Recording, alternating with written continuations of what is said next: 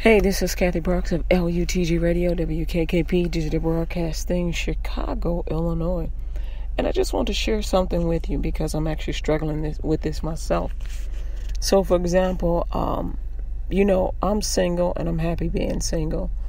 Um, and it's something I purposely chose. I, this is this is the season in my life to be single, so I'm happy with it.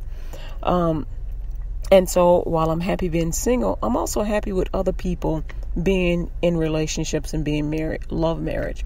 God made marriage, so I absolutely love it. And I respect marriage. And as well as I respect the fact that men need respect. But what you all also need to understand is women need respect. And the form of uh, respect for women is a sense of security and and safety. So, for example, when I'm at the store, and this happens so often that I get absolutely frustrated. I'm at the store, and like clockwork, a man comes up behind me and stands so close, people often think that that's my husband because he's so close. So close that I could feel the tension in his body. So close. That's too close.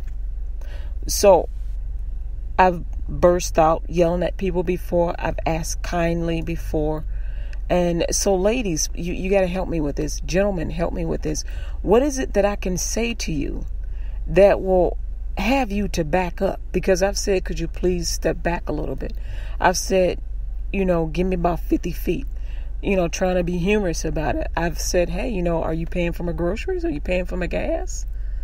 You know, trying to be humorous and at the same time get you to back up. And that doesn't seem to work. And let me just tell you what I'm sensing every time you do this hatred. Every time you do it, I feel the hatred on you for me. For whatever reason you judging me for I don't I don't know what's in your head. But there's something going on in you when you see me and you feel like you got to stand that close to me.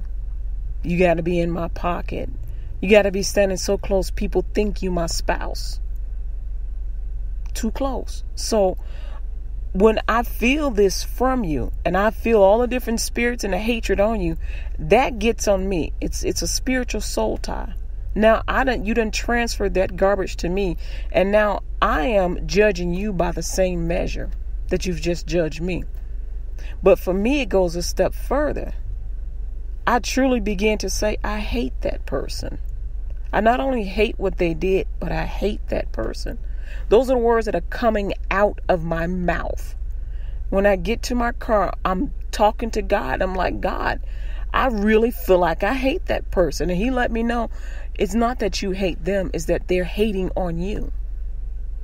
That was his revelation to me. They hate you. You are now you are judging them by the same measure that they are judging you. So I'm asking you, so stop judging me. Stop hating me. Instead, when you see me at a at, at a cashier, you see me somewhere, say hello.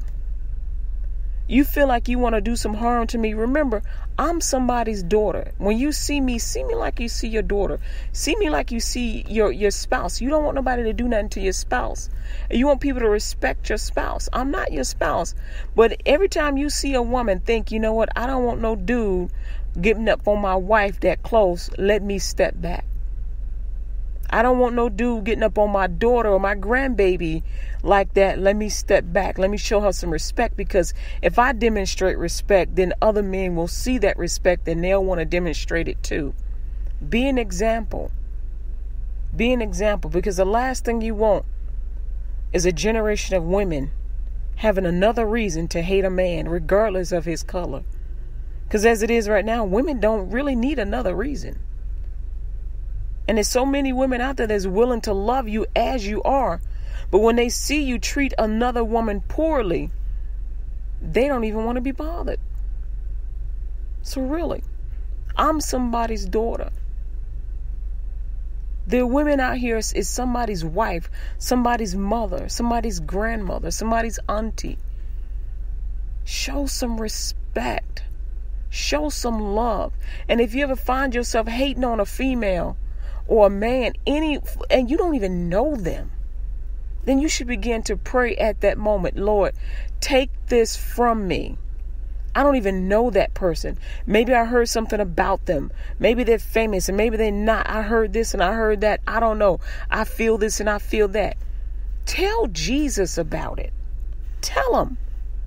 Don't hate on that person because by the same measure that you are judging them, not only will they judge you, but God is going to judge you for it. God is going to judge you for the way that you treat them, the way that you have judging them. So I'm just asking you show some love. The more you hate people, the less God can use you. The more you hate, the less of his power you have. This is the reason why he's telling pastors, I'm I'm upset because my body doesn't want my power. And what he's saying is they don't love. They have no faith. They're not exercising love. And if you can't love your fellow brothers and sisters, there's no way you loving God. And if you ain't loving God, you are not possessing any of his power. Enough said. This is Kathy Brooks, LUTG Radio, WKKP Digital Broadcasting, Chicago, Illinois.